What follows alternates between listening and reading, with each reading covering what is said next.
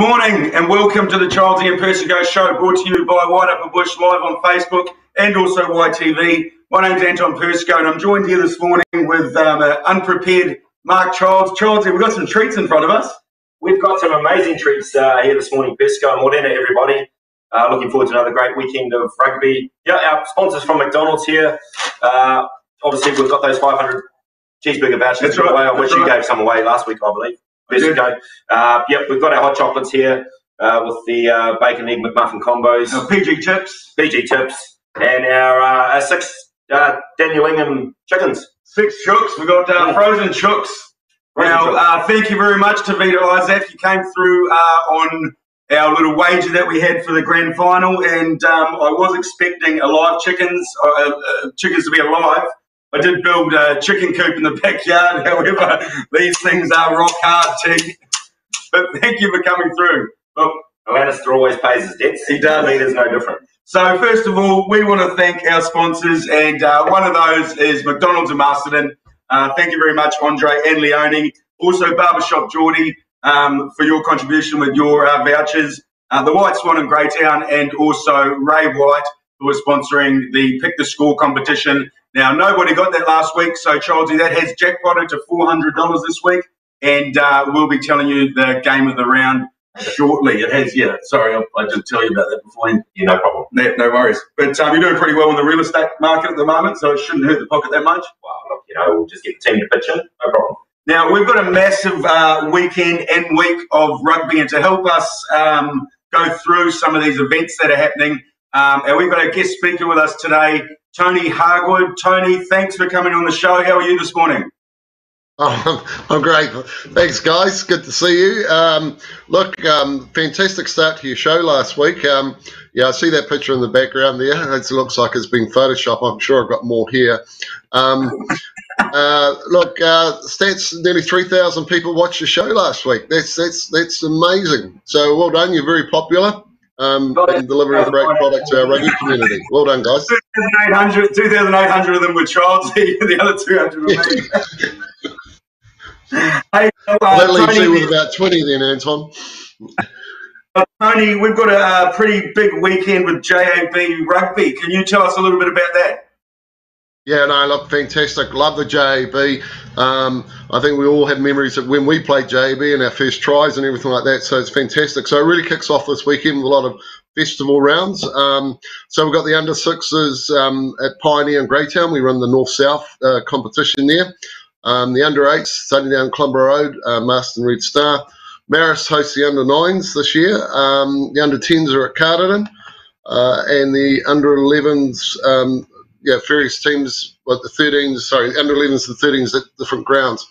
Um, so look, really good numbers through the through the uh, under sixes, under eights, and uh, under nines double. We had 50 in the under nines last year. We were nearly close to 100. So absolutely brilliant. So thanks to all the parents, thanks to all the uh, the kids out there, and I just hope they have a wonderful, wonderful time.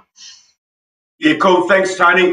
Um, also on Wednesday, the Festival of Rugby. Now, this is all the the four college sides. So it's uh, uh, Waikato second uh, 15, Rathkeale second 15, Makoura first 15, and Kuranui first 15. They will play uh, in three 20-minute games, and that starts at 4.30 on Wednesday. So get down to Trust House Memorial Park and support your local school team.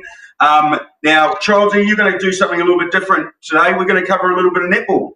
We're going to cover a little bit of netball. I've been copping a bit of flack from a person that will remain un, unnamed. Um, so thanks, Tess Newton, for providing me some information uh, on the netball competitions running this year in the Wairarapa. So this is a rugby and sports show, um, but mostly we've been covering rugby, of course. But yeah, look, the netball, a very popular winter sport uh, amongst our fraternity. So just some teams to watch out for in the Premier Grade. Uh, Harcourt's defending champions from last year.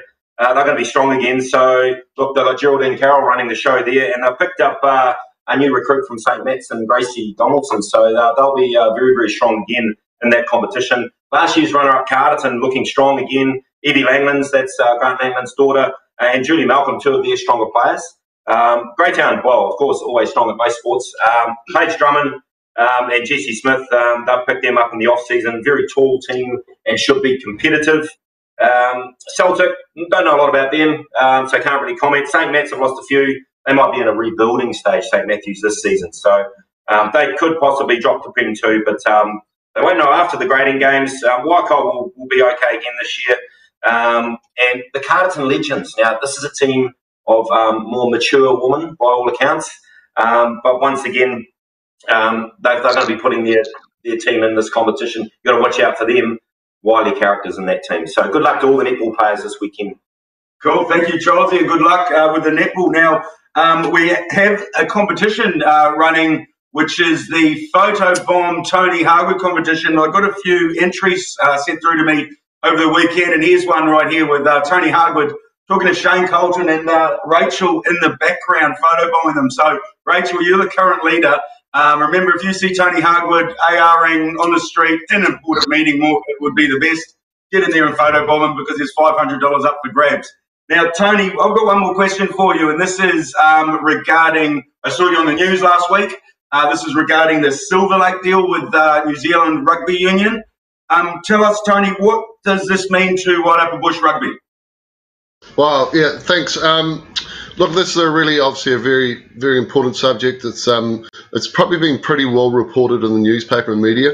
Um, it, it's a great opportunity to sort of uh, reset where rugby's going around the world and professionally. But more importantly, and the critical thing here is the is the opportunity to reinvest back into the community game. So, um, as you all know, the Heartland Unions we're, we're very firm behind this uh, proposal. Um, we we know a bit more detail than that, that, that we can release at the moment, just because of confidentiality reasons. Um, but the reinvestment into the community game, and I'm not talking about provincial unions, but also down into the clubs and the communities as well too. So, um, you know, it's it's going to be a great opportunity. The world's changing out there. The technology's changing. You know what we're doing here, you guys, with with with your podcasts and um, shows as well too. It's it's a real changing world out there. So. Um, uh, so all the 26 unions, uh, hours and hours of work behind it, um, and um, you know I think it's it's it's going to be a massive step forward uh, for all of us and, and and for the clubs. I suppose, Tony, a question I've got the it's a minority shareholding, isn't it? Around 12.5 percent. The yes. corporate side, yeah. clearly they don't have a majority shareholding, so the interests of New Zealand rugby and the grassroots level, etc., should be protected, shouldn't it?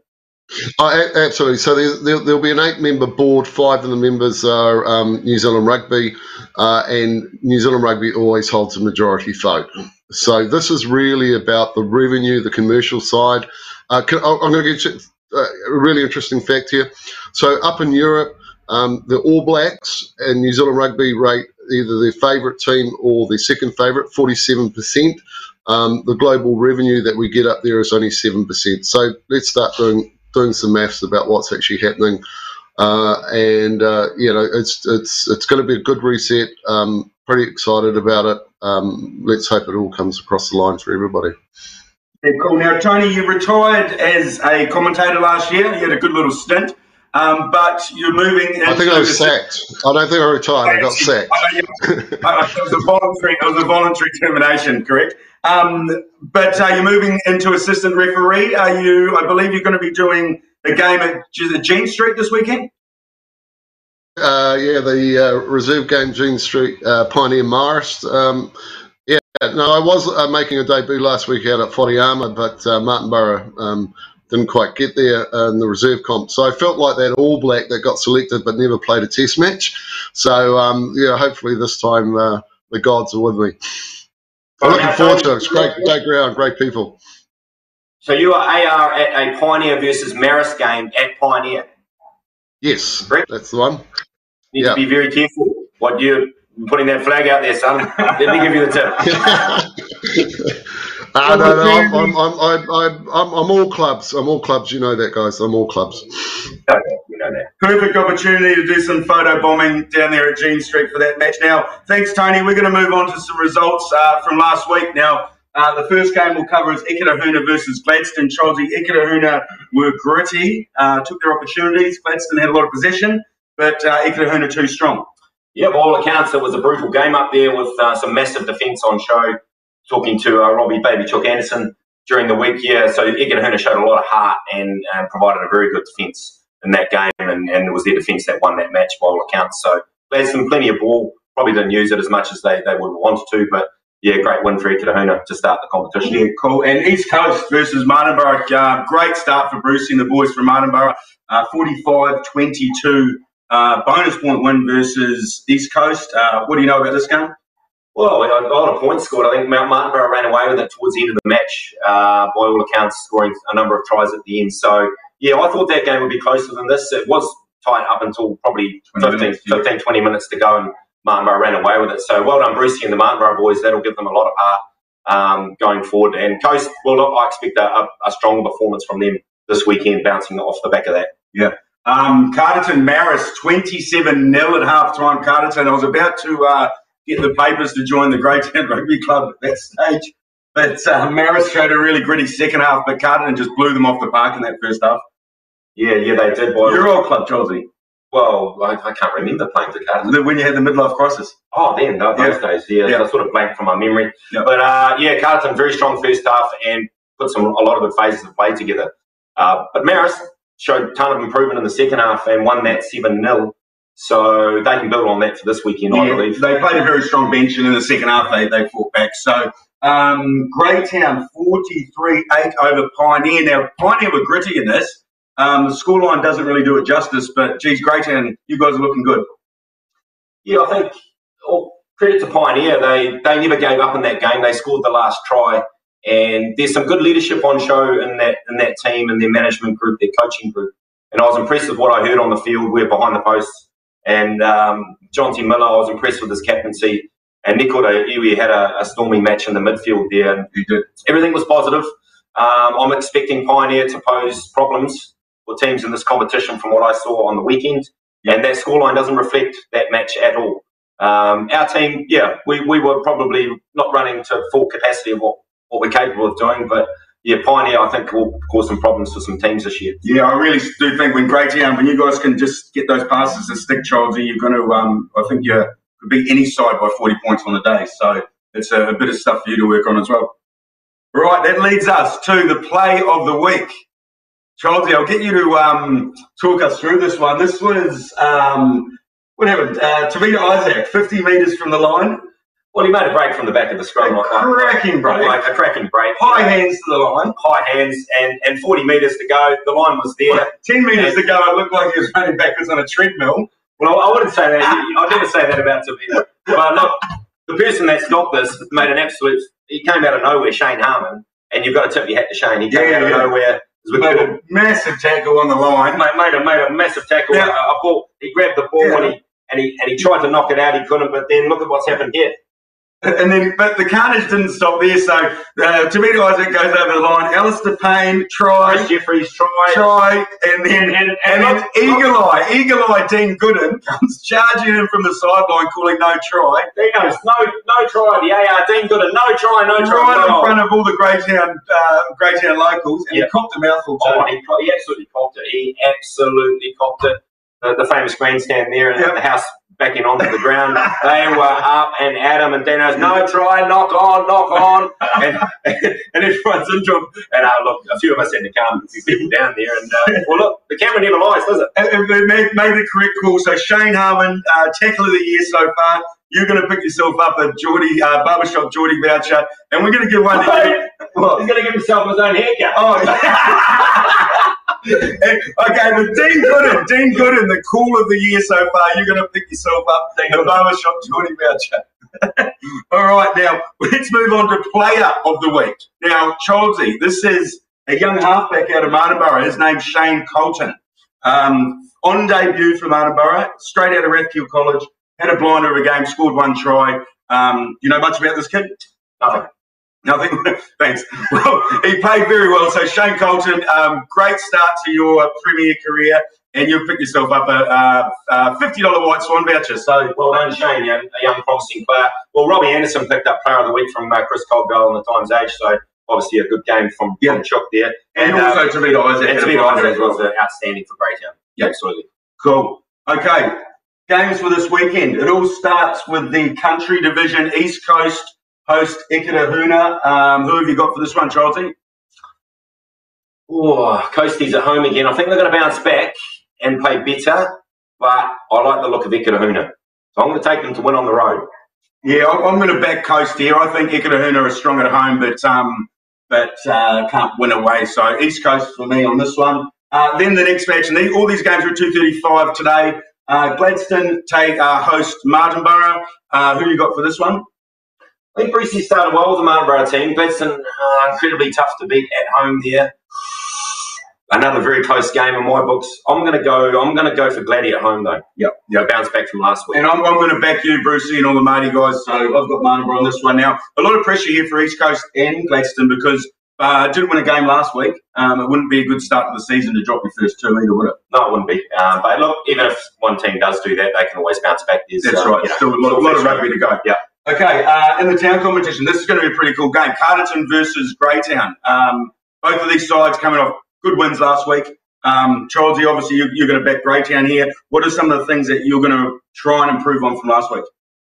I suppose just full retention really for our team and, and not pushing that pass. We squandered a number of opportunities last week through doing that. So that's been a real focus this week. But this match is for the Grant Cup.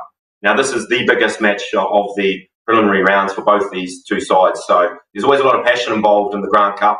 Uh, it stems back around 34 years ago when uh, Isha Grant passed away very, very tragically in the Carterton club rooms during a match between Carterton and Greytown. So there's a magnificent trophy up for grabs every year in this match in the first round. So you'll see some passion, you'll see some fire. Um, yeah, we're really looking forward to it. I'm sure Carterton is, is, as well. Both teams will be well prepared. So if you're around Carterton uh, on Saturday, come down to the ground and watch it. Uh, should be a really good game of rugby. Cool. And if you're hanging around Masterton today, get down to Jean Street at 2.35 p.m. because Pioneer are hosting Marist. This is going to be an absolute cracker. And Marist are a little bit wounded at the moment, and it's a really good opportunity for Pioneer to um, inflict a, bit, a little bit more pain. What do you think? I think so. Pioneer on their home track. Uh, dangerous from what I saw last week. Stacks of improvement left in them. There's some fitness there as well. So I expect this to be another close game. Yep. Yep. I've got Marist by seven on this one. I'll take Pioneer. I think they can cause an upset. All right, cool. So those are the games for today. Uh, all kickoffs at 2.35. Our pick the score competition is the match of the round is Carterton versus Greytown, two undefeated sides. So it's four hundred dollars. Uh, in the comments below, it's the first to comment. You've got to pick the winning team and the exact margin. Um, please don't text me and say what's the price for the closest, like Leith Harley did last week, because Leith, you did get the closest. Uh, how is, is that a fly on the screen? Yes. This is real grass, sorry. grassroots technology. Sorry, that was a fly that walked across the screen there. Um, so, Lee Harley, please don't do that again. You were the closest. However, you do win a voucher for absolutely nothing. So, we're going to send you out a blank piece of paper and enjoy that prize. Um, Childsy, the What About You campaign. What About You campaign? It's kicked off really well. Um, I, I did talk about this a lot last week. Look after your mates. If you're feeling down, feeling low, look, I helped out a, a guy this week uh, with a couple of my other friends. Um, he was down we chatted to him. It's amazing what can happen a couple of three days later for people when you just talk about things. So reach out and then please, people who are listening, have those big cuttings. And uh, look, watch your drink intake as well, fellas. That's right. I, I, stole a pen the other day. I don't know where from, but when I got home, I realised it was a What About You campaign pen, Childsy. So it gives you a few tips here on what to do this weekend. Do you want to read that out? Heading out, this weekend, out this weekend. Have fun and plan ahead to get home safely. Arrange a ride, offer to be the sober driver. Yep. Great advice. If you're driving, avoid alcohol and drugs. Even if you're not driving, avoid drugs. Absolutely. Put your phone out of reach. Don't be texting on your phone while you're driving.